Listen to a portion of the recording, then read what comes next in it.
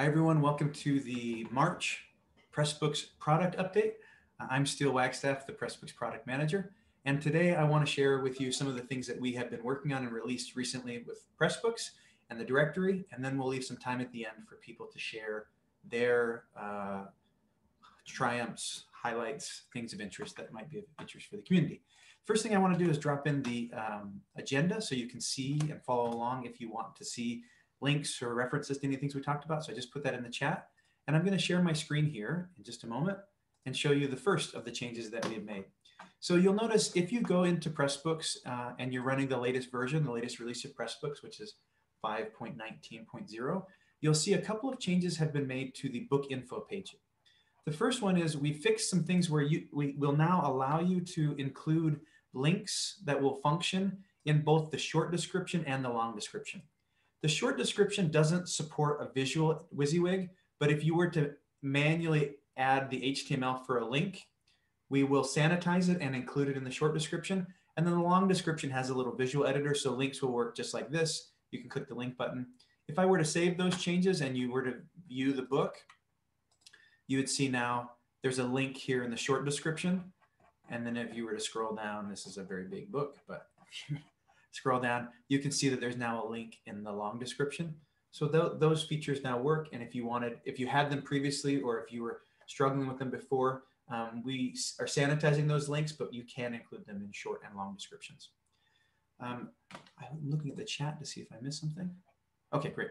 Um, the second thing that we did is uh, there's a, a place that you're asked to add a subject heading. The subject headings are really important for classifying your book and they're often important for people that are trying to use the directory to find books on a given subject. So we've clarified um, a little bit more, given some better instructions so that people know where these subject terms are coming from and how they can find the right subject term. So that for everybody, you'll see the subject field. The terms are coming from a group called Thema. Thema is an international standard for book subject categorization. And if you were to click this link, it would explain to you what Thema is and what the standard is. It's maintained by this international organization that has core subject headings. They're all released under a permissive Thema license so that we can include them in the open source version of Pressbooks. And now if you were to look here, there's a little helper that will help you browse their category list to find the appropriate subject. So this tool can let's say, let's say I'm not sure what the right subject is for mine. So I'll look in social sciences. I can see, oh, education is a subheading and then I can look through there. Or I could also look for open education and see what comes up. Oh, okay. This tells me the right subject heading to use is open learning distance education. So I could come in here and then type open learning and you'll see, okay, ah, it found the subject term that I'm looking for. So there's some in updated instructions for using Thema that should be a little bit help, more helpful to guide people as they're picking the prompt. It's a pretty minor change, but we hope it's helpful. And then for those of you who are on our Pressbooks networks, there's also a BISAC subject. Most people don't use this. Most of you don't need to use it. BISAC is the US specific subject term. We think Thema is better and more general. BISAC's proprietary as well. But if you are really addicted to BISAC, we've added a, a bit of instructions and link people out to the BISAC subject heading list. BISAC and Thema do work together and there is a Thema mapping for every BISAC subject. This is way more detail than you probably want or need. We recommend that users use the Thema subjects here and the instructions are updated, but that's that those are some of the changes and the updates that we've been making recently. Um, in the very near future, we will be updating the Thema list to be the most recent Thema update, as well as the BISAC list, so you'll have the newest subject terms available. Thema, fortunately, is backward compatible, so um, you can keep on using whatever you wanted to use, or you can use any of the new terms as they become available. Um, I saw a question in the chat about short and long descriptions. Do I need to go back into book metadata and take action to make those live links? Or will Pressbooks understand that URLs should be links going forward? No, we don't automatically convert a URL into a link, um, but you can make it a link manually by adding um, the ahref tag around a word in the short description or creating a link. Like if I were to just type, that would not be a link. But if I were to click the link button, it would become a link. So that's how you'd make it into a link there for the long description. And then for the short description, you have to manually convert it there. So thanks, that was a very good question. Um, so those are two changes that we've made recently for Pressbooks. Another change that we made that might be of interest to some people, probably not as many folks on this call, but um, some of our clients or some of our users are not based in the United States or Canada. They're based internationally. And so we've produced um, British English translations for Pressbooks and, and for some of our themes so that if you're in the UK or Australia or New Zealand or another Commonwealth country where you prefer British spelling to American or Canadian spellings, um, you can apply that in your book. And let me close these and show you what that would look like. So here's a network where we're running that. And you'll notice rather than my catalog, it's my catalogue with the British spelling. And if you were to go to something like the appearance customizer, you'll notice color has the U. So it's not a huge, huge change, but those those translations are available. So if you prefer British localization, that's available as an option for people in Pressbooks now. Um, though the people who are most affected probably already know about that, but we just wanted to note that we're we're always interested in localizing and making Pressbooks more available for users around the world. We support many different languages, and that's a new one that we've added. Um, we also re released a new version of our SAML plugin.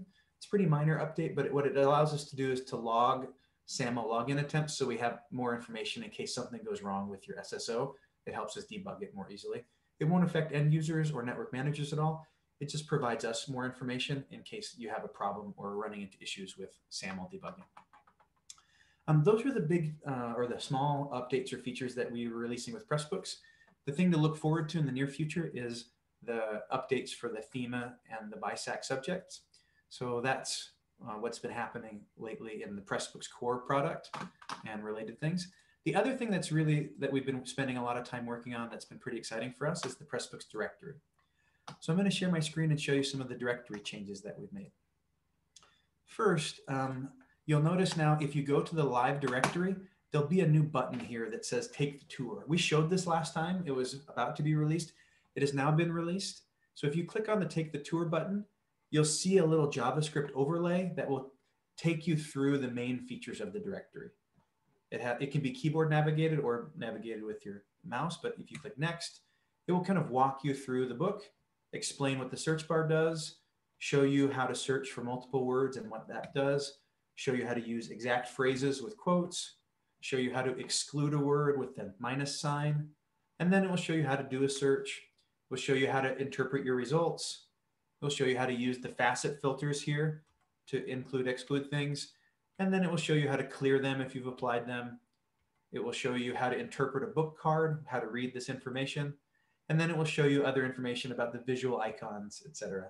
So it's a nice little tour that kind of takes you through the major components of the, the um, directory. And then at the end, it will link you to the guide chapter if you want to learn more. So we think that's a nice feature and it helps people orient themselves to the directory and use it if they haven't before. That's available now in the Pressbooks directory. Another thing you can do though is if you search, you'll notice it will automatically shift your focus to the search results. The same thing happens if you change pagination. Um, so we're just helping prompt people to where they want to go. Uh, a, different change that we made, Josie mentioned this in our last call. She's not here today, but the description field, we will pull the long description for a book if it's available. If it's not available, we'll display the short description. So here's a book, this world mythology book. I'll show you an example. So world mythology, you can see that in the Pressbooks directory, we're using this using insights string. If you were to visit the book itself, it has a short description, which is different and it has a long description, which is here. We're going to prefer and display the long description when it's available, but there are some books that don't have a long description and only have a short description. So an example of that is, what was the one that I was going to use? Now I've forgotten. It was uh, this one. It was climate, introduction to climate science. Okay, thanks. So here I've searched a book and I found this Introduction to Climate Science book from Open Oregon, or Open Oregon State, sorry. So here you'll see this has a description field, but if I visit the book itself, this is coming from the short description. The book doesn't actually have a long description at all. So that's how the directory is working now. Whether you have a short description or a long description, we'll display one or the other. Our preference is for the long description because usually those are more descriptive. But if there is none, we'll display the short description in this place. That was a change that people had requested, and we were really happy to implement that. Thank you especially to Ricardo who worked on that and built that for us.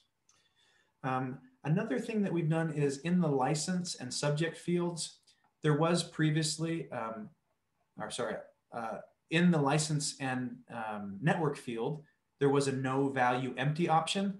Well, every book has a license by default. There's a license and every book belongs to a network.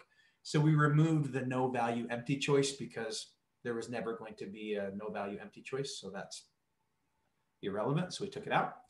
Um, and we have are wrapping up a user experience survey. So we've asked anybody who's interested to fill out a survey to help us improve the directory. We're in the closing stages of this. We sent an email out to everybody, but if you'd like to take the survey, um, let me drop the link in. We're just asking people to give us feedback about the directory, including the product tour, the search elements, the facet filters, and the book cards.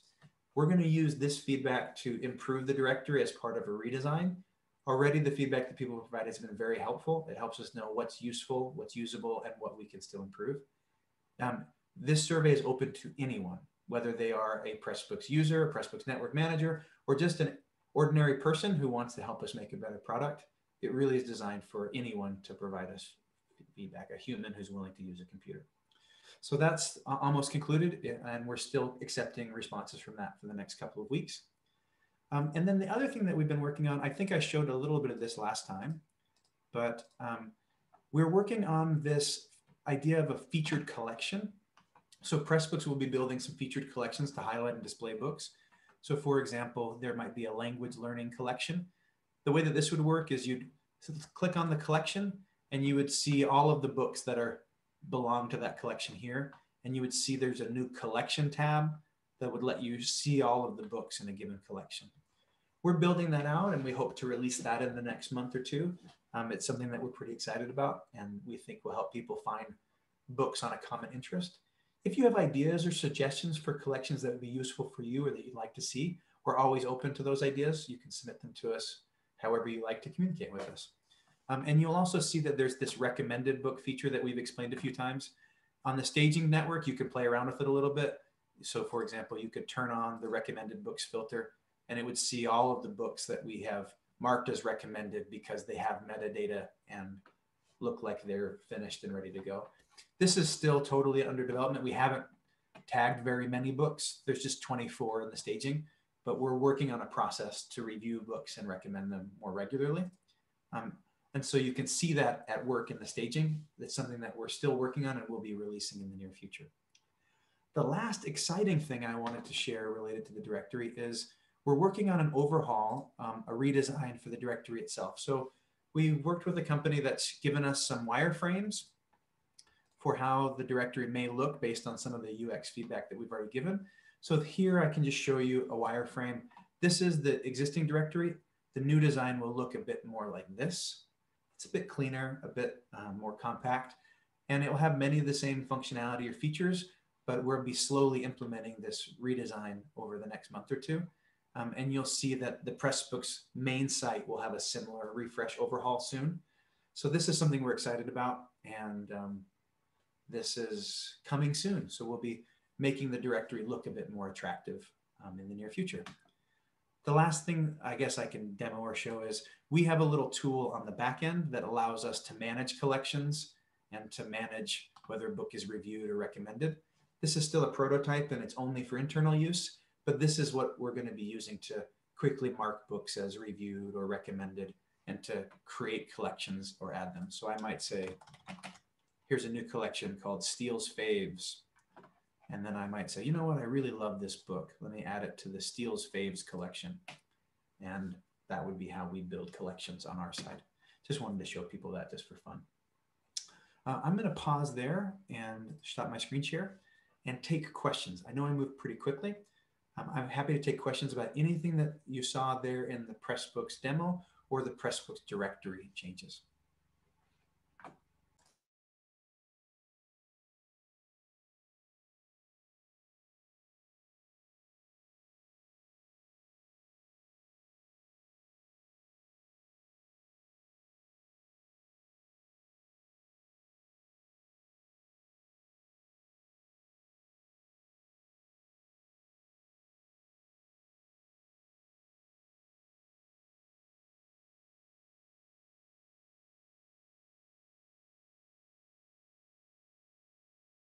I noticed in the chat, Kathy says, oh, this is a clever way to get us to clean up our metadata. Well done and a raise to someone. Okay, thank you, Kathy. We hope so too. We want to encourage people to enter good metadata so their books are more useful and findable. Um, I also want to let you know we're about 95% done with a very simple guide chapter, and we'll make an accompanying video that will be designed just to help book authors improve the metadata that's in the directory to make it really, really simple.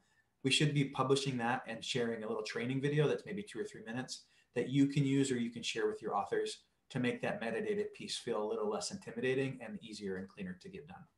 Um, I was hoping that we'd have it ready for today, but it's not quite ready to publish. I didn't get it. I didn't finish the review. I was a little behind. So, but it be done by next week.